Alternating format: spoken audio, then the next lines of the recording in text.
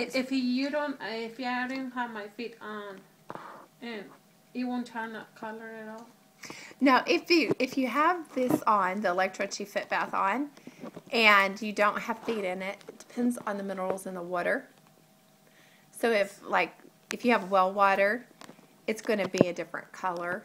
Oh, okay. And um, there, now we have a tester tester uh, array with water, and it turns just maybe barely yellow.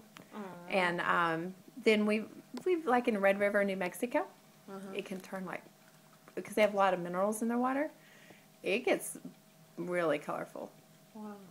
And then it's interesting whenever you have colorful water and then you put your feet in and it doesn't turn colors. You're like, what's up with that? Hmm. That's a good question.